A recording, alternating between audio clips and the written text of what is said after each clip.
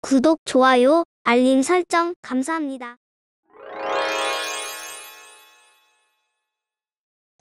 덕분입니다. 감사합니다. 감사합니다. 덕분입니다. 덕분 스쿨과 인연에 대해서 공부를 해 보시면 하는 과정에 여러분들이 느끼는 것이 있을 겁니다. 이 모든 것은 하나로 귀결되도록 가르침이 되어져 있습니다. 한마디로 자기 자신이 가지고 있는 무한한 능력을 마음껏 발휘해봐라. 그러려면 최소한 자신이 어떻게 존재하고 살아가는지 알아야 되고 이 세상이 어떻게 돌아가는지 알아야 되고 그리고 자신의 마음의 두 가지 차원 중생의 마음, 깨어있는 마음 그리고 마음을 사용할 때와 사용하지 않을 때 이런 이야기들을 전부 다 한꺼번에 군데군데 같이 실어서 연결되도록 해놨습니다. 우리가 살면서 복잡하고 어렵고 힘든 분들 이야기를 나누어 보면 지금 고민이 많아 또 해결해야 될 것도 어마어마하게 많다고 했어요. 그래서 어마어마하게 많다 해도 사실은 열 가지 정도로 압축하면 그게 다 들어가요. 세상 사람들 지금 많이 힘들다고 생각하시는 분 자신이 해결해야 될 숙제들을 한 번씩 체크를 해보세요. 해보면 사실 열 가지 넘지 않습니다.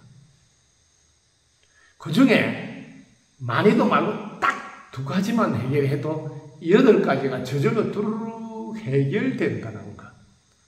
이게 이팔청춘의 법칙입니다.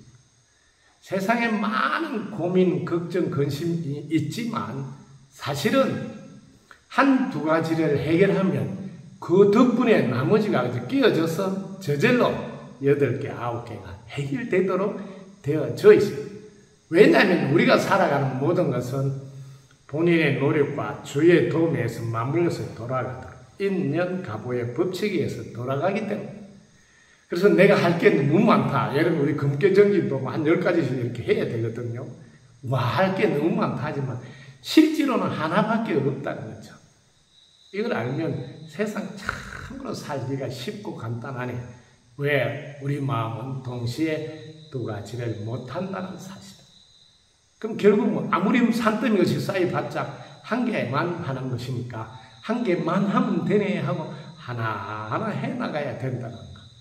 결국 지금 질문하신 것도 지구도 하나만 완벽하게 해보세요.